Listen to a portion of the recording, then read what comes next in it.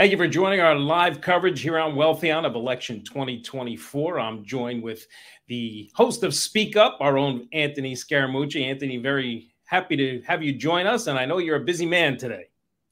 Andrew, I'm sorry I'm in the back of the car. I just I got blindsided by a number of media engagements for the Harris team, but uh, you know, uh, you're looking good. How are you? Everything good?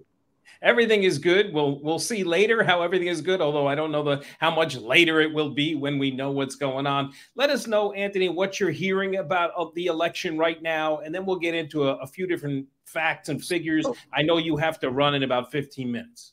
So just quickly, you know, the uh, and again, I want to be as balanced as possible because this is an investment show.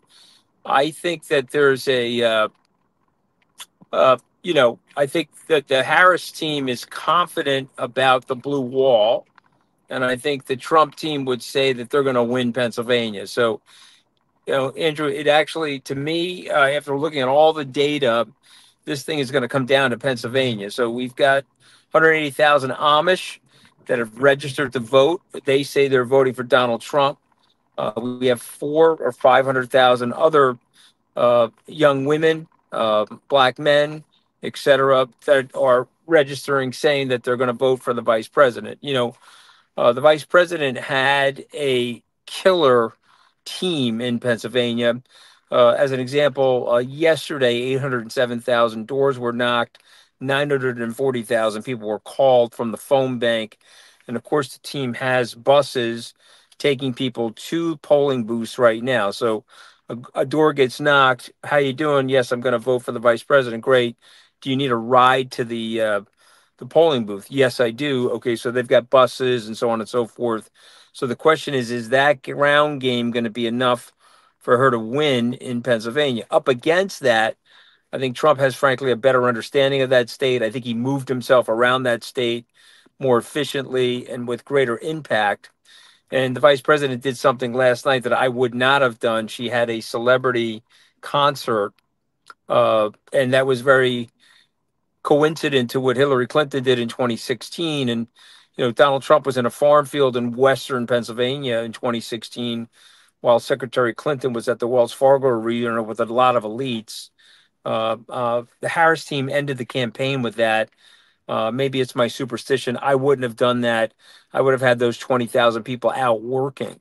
Um, let me just take, make two more comments and then um, go over to Trump for a few seconds and then take another question. But but uh, they also believe that they've got a real shot in North Carolina. So the Democratic candidate Stein, who's running for governor, uh, they think he's up 13 points right now. Uh, if that's the case, they think that that's enough of a positive drag to get them over uh, with uh, in in North Carolina. If that happens, that opens up the entire map for her. Uh, and those polls will be announced nine o'clock tonight because they close at seven. So look for those two polls. If she loses Georgia and North Carolina, she's got one way to get to the presidency left. That's through the blue wall. Of course, Pennsylvania, because the way they vote count, you won't know that for a few days. Frank Luntz is saying Saturday. I don't believe that. I think sometime by late Thursday, you'll know. On the Trump side, they are wildly confident. I mean, they're texting me that I'm going to be heading to Guantanamo Bay. Uh, they've got me on the first, uh, I guess, first ferry boat to Guantanamo. Uh, they're telling people that they're going to win seven out of the seven states, and they're wildly confident. The data doesn't suggest that, by the way, but but the data is so close, Andrew, that you know the likely outcome is one of these two candidates wins six of the seven states. If you wake up and you've learned that Vice President Harris has won six of the seven states, that means that they underpolled her people by a slight. That's why they have these margins of error in the polls, mm-hmm. uh, or conversely, Donald Trump's people. But she does feel like she has more enthusiasm right now. But Trump is uh, sneaky with the silent voters. You know, there are people that get the phone call, "Are you voting for Trump?" No, I'm not voting for Trump. They hang up the phone and they send in their absentee ballot or they go vote for Trump. So, so very, very tight. Anybody that tells you, "Oh yeah, I know exactly what's going to happen tonight," does not know. And uh, but for me, it's all all roads lead back to Pennsylvania. And it seems like you're going to have a lot of company on that bus to wherever it's going. But uh, Anthony, what does it mean that the stock market today is up? A Dow is up about 400, Nasdaq up over 200. Any meaning to that? So there, I think it's a little bit of a snapback rally. The market has been soft the last couple of days. Crypto market soft the last couple of days. Um, uh, traders will say that's an indication that Trump is winning. Uh, I think Wall Street generally, the consensus is that Trump is winning. The predictive markets have him winning. And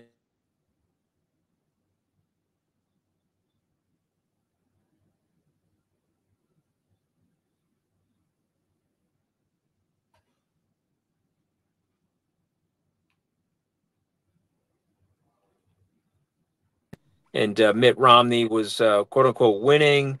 And even though the polls were statistically tied, those margins of errors actually broke for Barack Obama. He won sort of 53 47. Uh, but, you know, Wall Street saying that he's going to win. Now, um, you know, Stan Druckenmiller had a good point. Wall Street's generally been right about these things. They've got a lot of information. Thousands of research analysts are calling through this data. And so, you know, if you were looking at Wall Street, you're saying Trump's going to win. If you're looking at her field operation, you're saying, well, she's going to win. Uh, and so, again, it's still a toss up. But I, I, I do think that the market, uh, you know, is sort of telling it's 50, 50.1 Trump, 49.9 in terms of the chances for Harris. You know, I do, I do think that looking at those numbers, again, being as objective as possible, you'd have to say that's a positive sign for Donald Trump. Yeah, but if a couple people are not feeling well and don't get to the polls, that could swing either way because it's that close. Uh, you know, you brought up Stanley Druckenmiller, and he, he's very concerned about the debt and where we're going. Both of these candidates are going to add to the debt. Different ways, of course. Trump is talking about tariffs uh, Kamala Harris talking about cutting taxes for the middle and lower classes and trying to, you know, make up the difference other ways. Where we sit on the debt, Anthony, and and how does this? How do you think this has affected this election? So it's interesting. So I had a debate with Vivek Ramaswamy this morning on CNBC, and uh, you know he he he and I are going to be in violent disagreement about the tariffs. He says that uh, uh, you know, Joe Biden left every single tariff in place. That's factually inaccurate. He left some strategic Chinese tariffs in place that were related to protecting some industries and related to our national security, but he did not leave every tariff in place. And so you have to use the tariffs in a delicate way. You don't want to touch off a global trade war. We certainly need to protect our industries. But one other big thing and one other big negative, if they go hog wild on the tariffs, you're going to have a wipeout of disposable income for middle and lower income people. So Elon Musk is telling people quite honestly, sort of, uh, uh, you know, Elon is not a politician. He's many things and arguably one of the most successful people in the world, but he's not a politician. he's saying, oh, you know, we're going to put in these measures with the Department of Government Efficiency. There'll be two or three years of catastrophic economic activity in the United States. And so I can tell you that austerity is never the right thing to do uh, for a government that has 25, 26% of the GDP. I can tell you that if we cut, if we took Elon Musk at his word and uh, we took Donald Trump at his word, uh, we're going to go into a depression because if you're going to cut $2 trillion of spending, first of all, I don't even know if they could legally do that based on the uh, obligations that they have in terms of these entitlement spending. But you're going to cut two trillion in, in spending. You're going to take tariffs up to 300 percent. As the vice president pointed out, that's generally a sales tax on lower middle income people. And then the third leg of the stool economically is you're going to deport people. So, as I pointed out to uh, Vivek this morning, you want to deport 2 million people? Okay, that's going to cost you $88 billion. You are going to have to put them in camps. You'll have to concentrate them in camps. You'll have to drive around in our cities and SWAT teams and pull these people out of houses. And uh, that'll hurt our tax base. It'll hurt our GDP. Uh, it'll hurt our contributions to Social Security. So if you want to do all those things, okay, but you're calling for a massive economic depression if you do all three of those things. So, so I like her plan better. Lots of economists, maybe there were 24 Nobel Prize winner, said her plan reduces the deficit, at least deficit's growing, but it's going to come down as a percentage of overall GDP. Uh, her tax rates are a little higher. There's no question about that. Nobody obviously wants to pay higher taxes, but can't do what we're doing now. You've got uh, lots of deficit spending. And Andrew, you know that's unfunded tax liability. So you're going to pay it one way or the other. You're going to pay it in terms of the monetization of the debt through inflation, or you're going to pay it through the uh, uh, actually having to pay it, meaning to the taxman and the IRS. So one way or another, we have to pay this stuff. You can't can't can't be in a position to overpromise the electorate like we've been doing, which has been very damaging to living standards. Went through the economic plans, Anthony, and, something really, really struck me. We have a corporate tax rate of 21%. Donald Trump wants to lower it to 15%. Kamala Harris wants to raise it to 28%. Before Trump took office the first time, it was 35%. They brought it down to 21%. Now, corporate tax rate at 21%. I looked at individual tax rates for a individual that's making $100,000, they're paying 24%.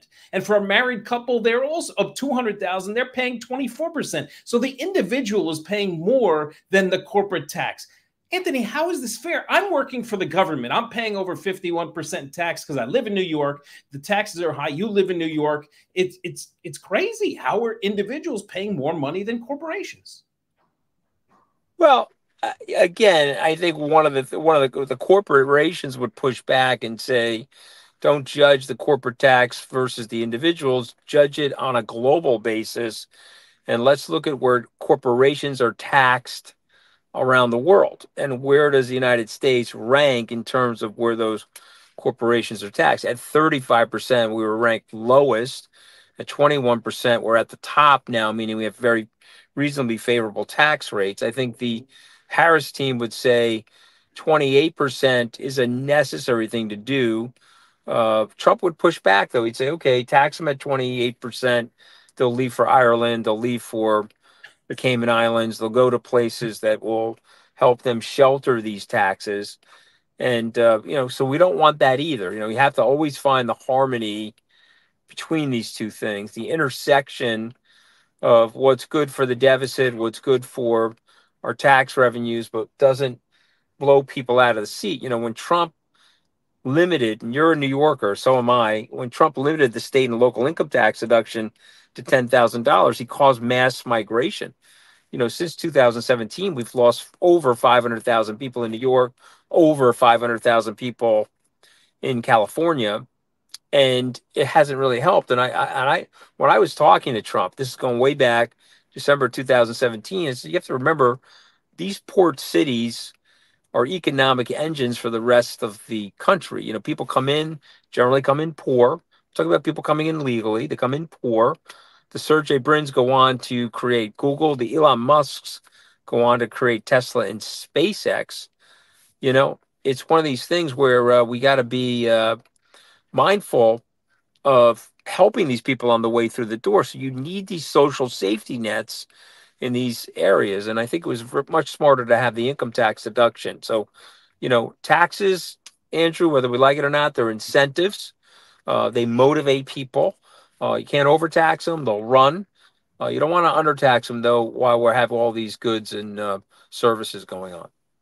Well, Anthony, we'll uh, keep. Uh, I know you have to run. Let where are you? Where are you next? I know you're doing a TV hit shortly. Yeah, so I'm I'm going to be streaming live. I'll put it up on my Instagram. I've got our uh, our show, The Rest is Politics US. Uh, we have our uh, sister podcast in town. I'm down here at the uh, Four World Trade Center. I'm about to go in there. Uh, it's an eight-hour show, Andrew. So pray for me, pray for my voice, pray for my hydration. Okay, pray for the fact that I'm 60 and I'm probably going to have to go to the bathroom like 500 times uh, during the course of the show.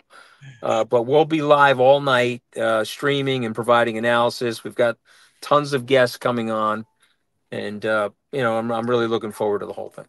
Anthony, thanks for doing what you do. Thank you for taking a few minutes to join us here on Wealthion. We'll look forward to seeing Speak Up coming up on Friday. And uh, thanks again for joining us. Really appreciate it. Right, you're doing a good job with your hair too, though, Andrew. I noticed you must have a good, Must have a good stylist. I got to fix my You're hair. the same person, so it's all No, good. no, no, no, you're doing good, Andrew. I'm looking at that hair. I like it.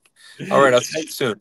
Thanks very much, Anthony. And don't forget to join us tomorrow at noon. We'll be back live with a hopefully post election analysis of who may win if we have a winner. As you heard from Anthony, we may not know Thursday, but we're going to do our best to bring you everything there is to know about the winner of this election, if there is one, and we'll break down economically for your pocketbook and mine what might happen next. Thanks so much for joining us here on the live Wealthion edition of Election 2024 and what it means for you and for me. That's a wrap on another discussion here on Wealthion. Thank you for joining us. If you need help being financially resilient, please head over to wealthion.com and sign up for a free, no obligation portfolio review with one of our registered investment advisors. And remember to follow us on social media for the latest news and information to help you invest wisely.